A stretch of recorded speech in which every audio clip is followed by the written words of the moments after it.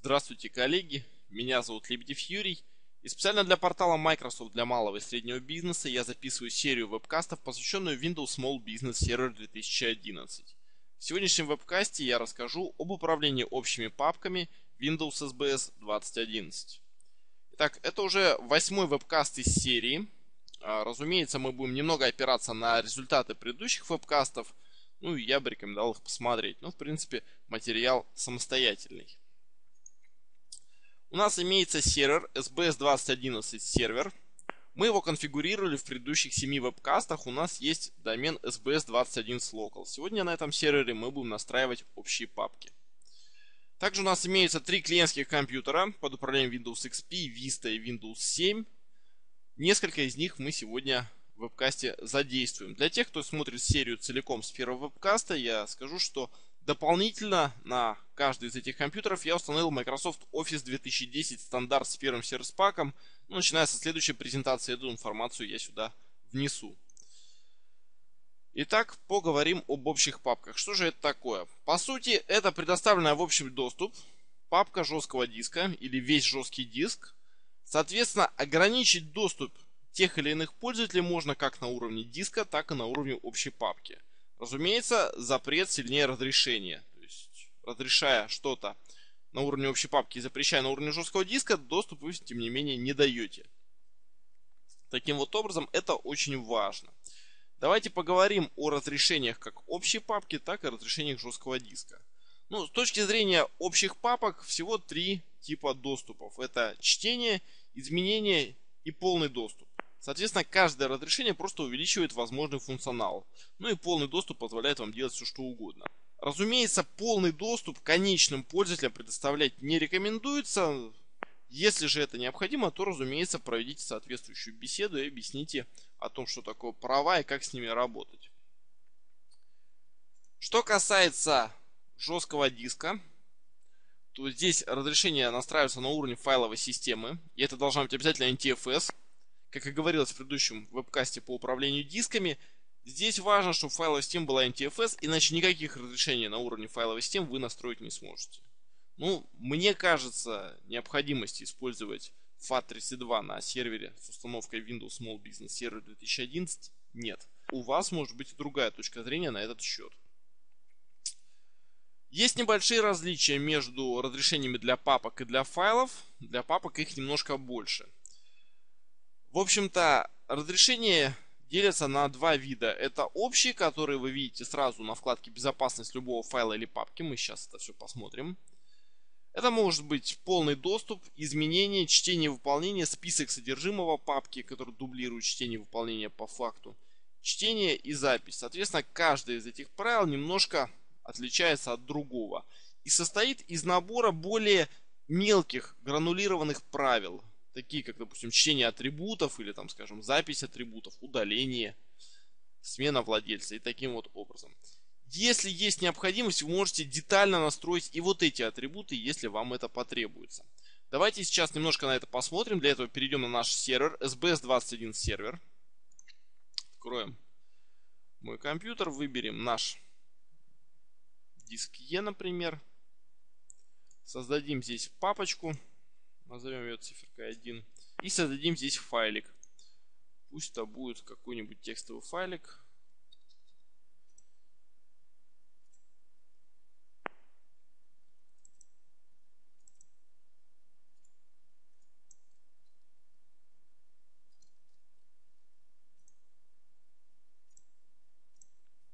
Итак, создали мы папочку и файлик. У обоих у них есть свойства безопасности, которые можете найти на вкладке свойства. Вот они.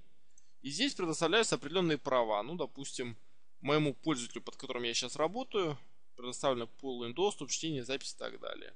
Аналогичные настройки есть и для папки. Вот, здесь только добавляется э, список содержимого папки. Лично моему пользователю здесь предоставляются особые разрешения, то есть нестандартный какой-то набор. Это все можно посмотреть на вкладке «Дополнительно», в разделе разрешения. Выбираем изменить разрешение, выбираем меня, изменить и видим, что здесь нам представляется. Как видим, все нам предоставлено в полный доступ таким вот образом. Окей. Есть такой важный момент, как владелец. Он задается во время создания нового пользователя. Также есть возможность настроить аудит, о котором сегодня мы говорить не будем. Ну и немножко вернемся к разрешениям. В общем-то, если вам необходимо, вы всегда можете добавить сюда какого-то пользователя и назначить ему соответствующее разрешение, если вам это потребуется. Либо у имеющегося пользователя их изменить. Есть еще один очень важный момент. Он называется наследование. Соответственно, в папке корневого уровня, который является по факту диск, имеются какие-то разрешения. И все создаваемые в ней папки и файлы наследуют эти разрешения, просто их копируют. На любом из этих этапов вы можете пресечь эти разрешения, либо скопировав, либо удалив и потом уже изменить, если вам это необходимо. Соответственно, если будете менять разрешение у вышестоящей папки, то разрешение к вашему объекту не будут применяться. Аналогично у ниже стоящих файлов вы также можете заменить разрешение, если вам это потребуется. Таким вот образом. Ну давайте для примера что-нибудь сделаем. Закроем свойства нашего файла. Давайте сначала на него посмотрим. Давайте сделаем какой-нибудь пример. Есть у нас свойства безопасности нашего файла. Тут все пользователи, администраторы, Лебедев Юрий. Возьмем на уровне папки. Изменим правила и добавим какого-нибудь пользователя. Например, Сидоров S. Какие-то базовые правила нас они вполне устроят. Почему нет? Применить. Окей. На уровне папки есть особые права для Сидоров S. На уровне файла эти права автоматически наследовались. Давайте попробуем это изменить. Изменить разрешение и скопируем имеющиеся просто удалим Сидорова Семена. Применить. Окей. Окей. Соответственно, сейчас наш файл не наследует решение от папки и вкладка безопасность будет у нас отличаться. Вы всегда можете прострелить насквозь все эти разрешения, то есть грузить их с вышестоящей папки. Это очень легко сделать. Входим в изменить разрешение, заменить, применить. Окей. Единственное, что может быть проблема, это проблема с владельцем. Вы всегда можете установить владельца всем нижестоящим объектам, ну, выбрав его здесь и выбрав галочку заменить владельца под контейнеров и объектов применить. Окей. Вам потребуется только вновь зайти в свойства этой папки. Ну, как видим, сейчас нашему файлу разрешения с верхней папки были спущены только что в принудительном порядке. И галочка разрешения от родительских объектов проставляется автоматически. Я думаю, это довольно просто.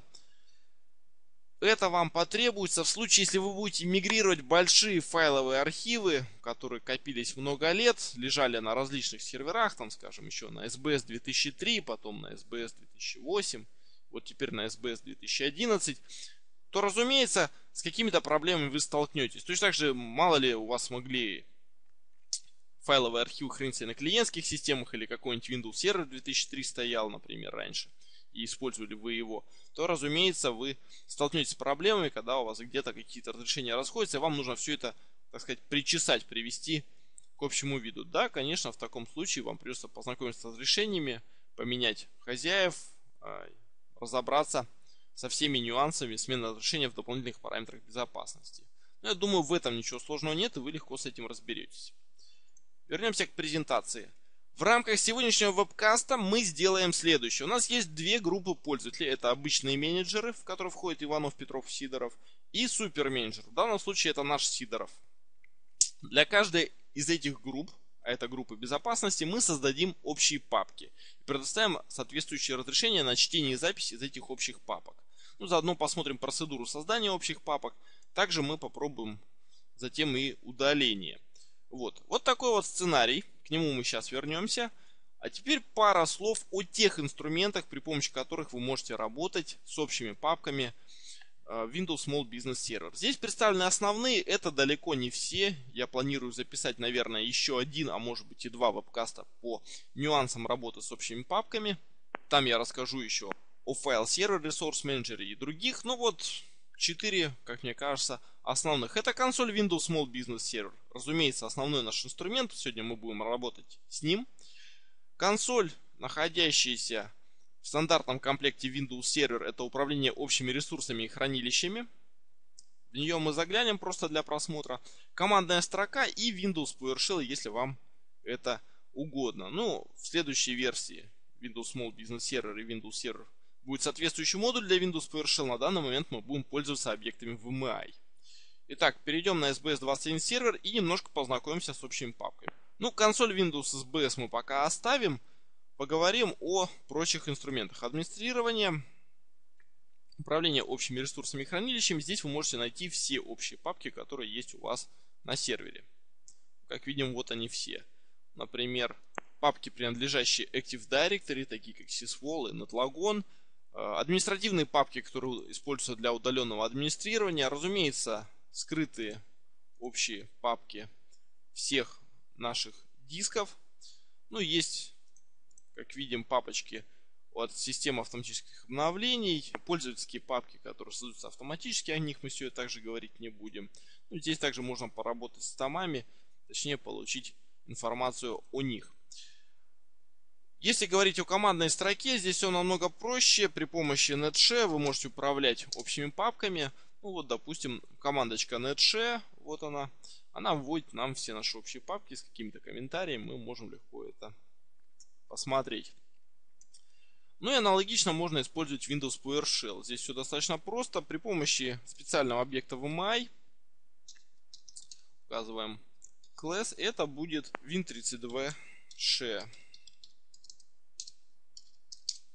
Вы можете также посмотреть все общие ресурсы. Я думаю, с этим ничего сложного нет. Также можно и настраивать общие ресурсы при помощи Windows PowerShell, командной строки. Ну, в нашем случае, при работе с Windows Small Business Server, едва ли вам потребуются такие мощные языки скриптов, как Windows PowerShell, для того, чтобы создать набор папок. Как правило, их не так много, и их можно создать при помощи консоли Windows Small Business Server, где в режиме мастера вы сможете пройти все эти шаги. Что касается консоли Windows Small Business Server, в ней имеется специальный раздел, это общие папки и веб-узлы. Сегодня нас будут интересовать именно общие папки. Давайте посмотрим и попробуем выполнить наш сценарий. Ну, в нашем случае нам нужно будет создать две папки. Это Managers для менеджеров, для нашей группы безопасности менеджеры, и S-Managers для группы безопасности S-Managers. Соответственно, назначив права группам, мы избежим проблем, когда будем добавлять нового менеджера, мы добавим в группу, он автоматически, помимо всех прав, уже назначенных этой группе, получит доступ к своей папке Managers. Итак, перейдем на SBS21 сервер, свернем все лишние консоли и запустим консоль Windows Small Business Server.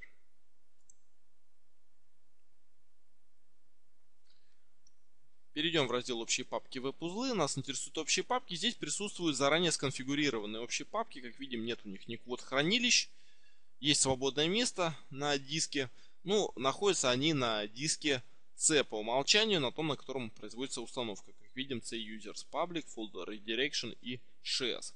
Нам потребуется создание новой общей папки. Вот здесь вот находится этот самый мастер Нам необходимо выбрать расположение. Как видим, есть несколько дисков. Можно получить информацию о наших дисках, которые у нас присутствуют. Также можно посетить подготовку хранилища. Ну, отдельный вебкаст по работе с дисками я уже записал. Можете посмотреть там. Так, обзор. У нас будет рисовать диск E. Мы здесь создадим папочку, которая будет называться Managers. Итак, наши менеджеры. Окей. E-Managers. Далее. Можно изменить разрешение NTFS, либо оставить их по умолчанию. Нас интересует как раз возможность изменения разрешений. Мы добавим сюда группу безопасности Managers. Только Managers. Окей. И дадим ей право на изменение, чтение, выполнение списка содержимого папки. Таким вот образом применить Окей. Сделали решение для этой папки. То, которое нас устраивает. Далее. Теперь необходимо выбрать протокол общего доступа. По умолчанию с Windows Small Business Server устанавливается протокол SMB, потому что на нем, в принципе, все работает. Это стандартный протокол общих ресурсов, используемый в сетях Microsoft. В случае необходимости, если у вас есть какие-то сервера или клиенты под управлением операционной системой Linux или каких-то Unix подобных систем, вы можете дополнительно установить поддержку NFS и тогда сможете публиковать свои папки в общий доступ через NFS. Ну, в нашем случае мы пока что это не рассматриваем. Если вас это особо интересует, ну, напишите мне в почту или оставьте где-нибудь в комментариях под видео, я добавлю вебкасты об этом. Но нас интересует наш общий ресурс Managers, и его расположение будет находиться за именем сервера папочка Managers. Далее. Параметры SMB можно также настраивать. Здесь есть число пользователей, одновременно подключающихся к папке, пускай это будет максимально возможное. В нашем случае сервер не перегружен, поэтому ограничиваю не требуется. Также можете настроить кэширование, если вы настроили branch кэш. Ну, пока что мы это не используем. Окей. Далее. Разрешение SMB. Здесь можно как выбрать заранее подготовленные, так можно и настроить особые разрешения. Ну, меня будет интересовать особое разрешение, так как папка будет доступна для группы, пускай они будут изменять и читать данные в этой папке. Применить. Окей. Далее. Политику квот можно настроить и здесь. Есть предварительно созданные политики. Ну, о квотах я думаю записать отдельный вебкаст, потому что тема достаточно интересная, ну и большая. Поэтому пока что оставим данную папку без квоты. Она будет ограничена только размером тома E, на котором размещается эта папка Managers. Далее. Давайте попробуем настроить блокировку файлов. Об этом я еще отдельно поговорю. Делается это при помощи файл сервер Resource Manager. Ну, допустим, мы заблокируем исполняемые файлы. Соответственно, исполняемые файлы забрасывать в эту папку будет запрещено. Далее. Мы обязательно это отдельно проверим. О DFS сегодня говорить мы не будем. Это корневое пространство имен, которое можно создавать. Вот об этом обязательно вебкаст я сделаю чуточку позже, так как эта тема может быть полезна и интересна, особенно для тех, кто мигрирует с полной редакции, скажем, Windows Server 2003 на Windows Small Business Server 2011 в рамках своего небольшого предприятия. Это может оказаться полезным. Далее. Видим сводку по нашему общему ресурсу, можно все проверить. Если что-то не устраивает, перейти в любой из разделов и настроить его отдельно. Выбираем «Создать». Как видим, успешный доступ через SMB был предоставлен, ошибок не произошло. Отлично. Создали мы ресурс менеджер, сейчас он здесь обновится. Вот он. Свободного места 39 и 9, все отлично. Давайте проверим его работу. Вернемся к презентации. Итак, у нас присутствует папка Managers. В ней могут работать все пользователи. Сегодня мы задействуем двух пользователей. Это Иванов И, который работает за компьютером под управлением Windows XP, и Сидоров С, который работает за компьютером под управлением Windows 7. Все эти пользователи сбросят немножко ресурсов в эту общую папку. Давайте перейдем на компьютер в XP, на котором работает Иванов И, как мы можем убедиться. Все правильно. Папочке «Мои документы» валяется Operation GUID к SharePoint. И давайте попробуем сбросить его в нашу новую общую папку.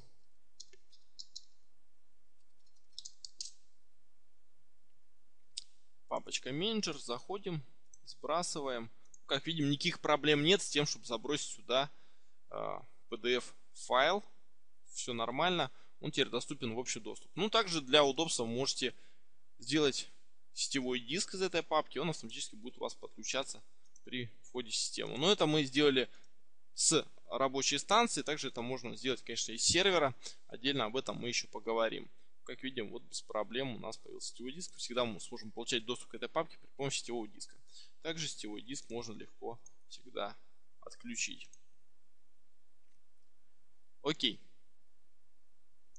Как видим, работа от Иванов и с общей папкой Managers идет нормально. Попробуем то же самое с компьютера V7, на котором работает Сидоров S. Семен Сидоров. В папочке документы у меня несколько файлов есть. Информация по развертыванию Windows 7. И исполняемый файлик.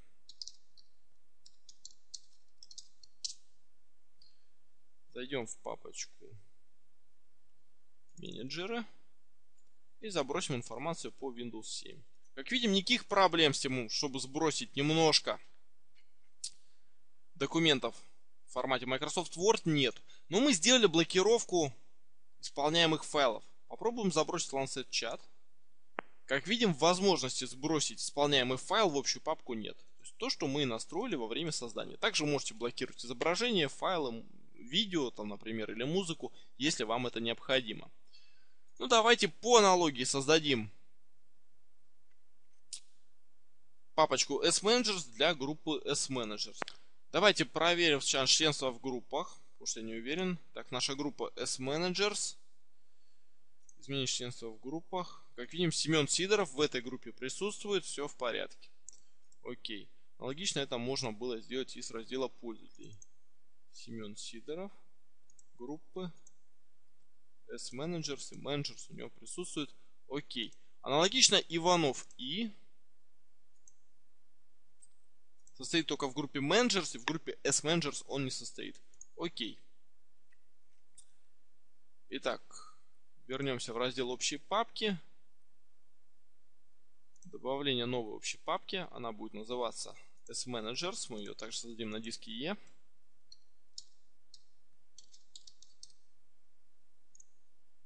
Окей. Далее. Изменим разрешение NTFS. Обычных пользователей мы уберем отсюда.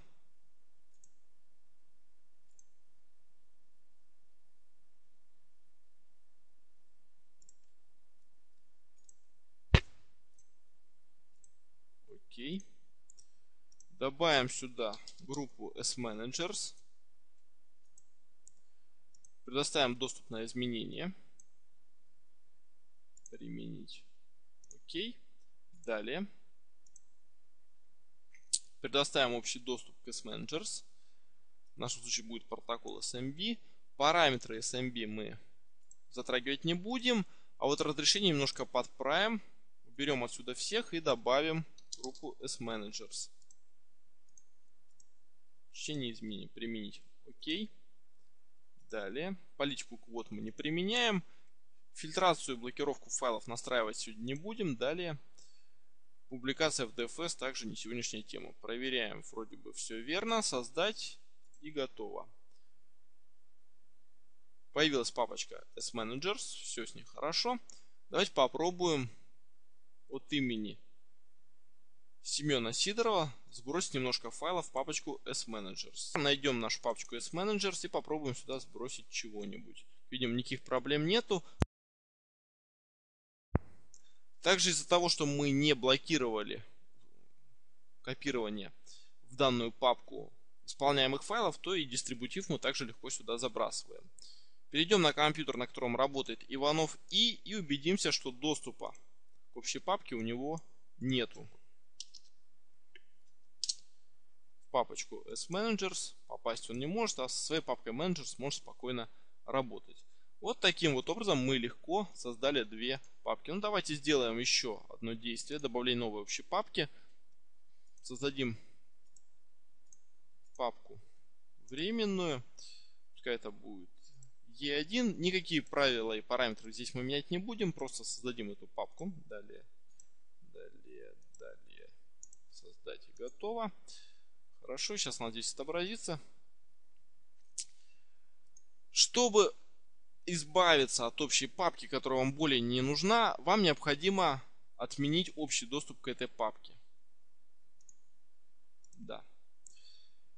После этого вам необходимо будет эту общую папку уничтожить на диске, если это необходимо. Разумеется, прежде чем уничтожать какую-то папку на диске, особенно с документами, сделайте ее резервную копию, сожмите в архив, запишите куда-нибудь на диск, потому что наверняка через два месяца кто-нибудь вспомнит, что в этой общей папке было что-то критически важное, и работать без этого он не может. Такое встречается довольно часто, поэтому не забывайте делать резервные копии. Папку эту мы удалим, потому что в нашем случае ничего важного в ней нет. Ну и давайте посмотрим еще одно действие. Есть у нас папка S-Manager, с которой Иванов И не имеет доступа. Мы можем всегда изменить разрешение и добавить, например, конкретного пользователя Иванова И к этой папке и дать ему какие-то разрешения. Например, просто прочитать данные. Применить. Окей.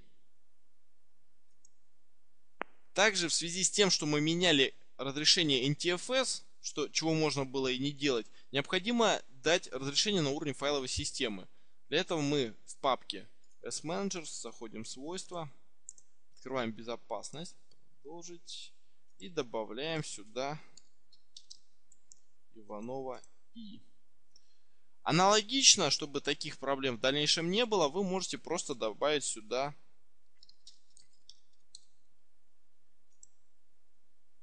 всех пользователей домена. Применить. Окей. Окей.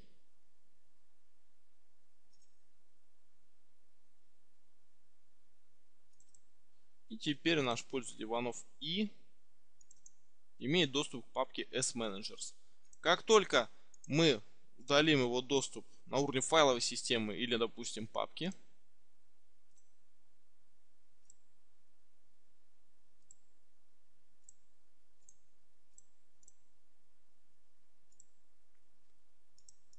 свой доступ к этой папке он потеряет. Как видим, все довольно просто. Так что на уровне файловой системы постарайтесь настроить разово, так как вам это будет необходимо. На уровне общей папки это легко всегда можно менять, ну, допустим, при помощи консоли Windows Small Business Server. Мне кажется, это довольно просто. Вот так вот достаточно легко и просто мы сделали две общие папки и настроили для них соответствующее разрешение.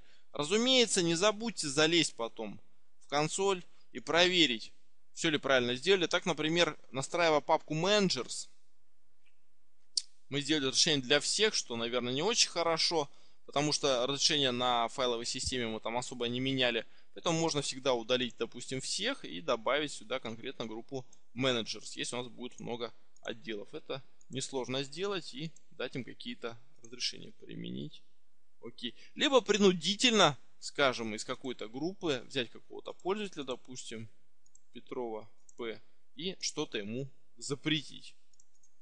Это на ваше усмотрение.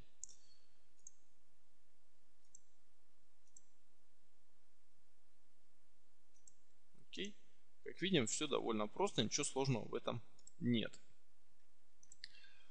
Что касается сегодняшнего вебкаста, на этом все. Небольшая информация обо мне. Если у вас есть какие-то вопросы, пожелания по этой серии вебкастов или вообще, пишите мне в почту на lebedefюри.gmail.com Подписка на новости, и все они одной строкой у меня в блоге на lebedefumblogspot.com. Ну и больше вебкастов по различным информационным технологиям вы можете найти у меня на сайте. Ссылка здесь приведена. Ну а на этом все. Я напомню, что этот вебкаст записывается специально для портала Microsoft для малого и среднего бизнеса. Ссылка представлена внизу. Заходите в разделе полезных советов, вы найдете множество полезной и интересной информации. На этом все. Спасибо за внимание и будьте здоровы.